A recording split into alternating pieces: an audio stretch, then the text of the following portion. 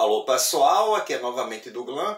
Outro teste de potência importante para o FF Ballistic Power é no cilindro de CO2, porque nenhum chumbo de liga especial 5.5 foi capaz de perfurar a essa distância, tá? Então nós vamos testá-lo e ver se ele se equipara ao Gamo Letal 4,5, que é quem fazia esse tipo de perfuração a essa distância. Então acompanhe esse vídeo aí. Pois bem, pessoal, vamos tentar aqui a perfuração a 9 metros com o chumbo FF Ballistic Power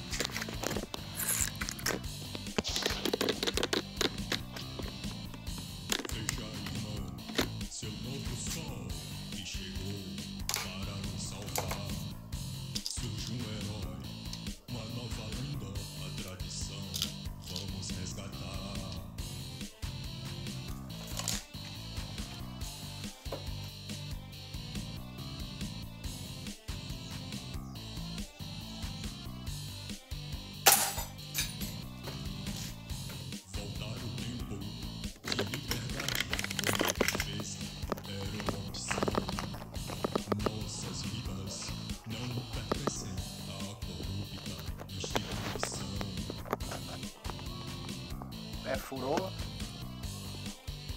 e ainda marcou aqui atrás, tá bom?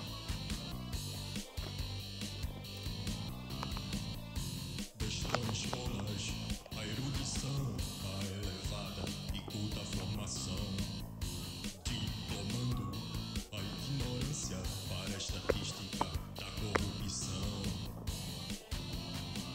E rasgou.